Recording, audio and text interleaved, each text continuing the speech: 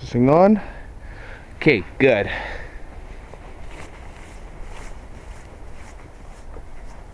Good evening, ladies and gentlemen, boys and girls, and welcome to my latest video of Science Behind the Storm. Have you ever wondered what is the difference between snow, sleet, freezing rain, and just plain rain? Well, they all are the same types of precipitation, but they're all formed differently. As you know, snow forms via tiny ice crystals high in the clouds.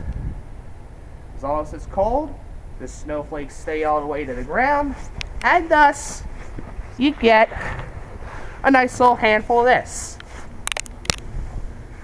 Sleet, which is tiny little ice pellets, forms when you get a shallow layer of warm air coming in over top of the cold. Obviously, cold air is a lot more denser than warm air. And what happens is the snowflakes melt into tiny ice balls and they and they fall to the ground as little tiny pellets. Freezing rain, which is what I highly I'm highly convinced we're getting right now. You got warm air on top of cold, but just because it might be raining that doesn't mean it's going to be nice and wet.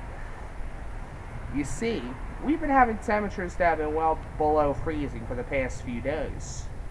So I think that's untreated. Rain comes down, hits something cold, bam! You get an instant sheet of ice. What will be happening later tonight is the warm air is going to completely invade the region, and thus any ice will be going over to plain rain a little later on tonight and tomorrow. As always, thank you for staying tuned to my Facebook, and please be sure to subscribe to my YouTube page as I'll be having some more exciting videos as time rolls on.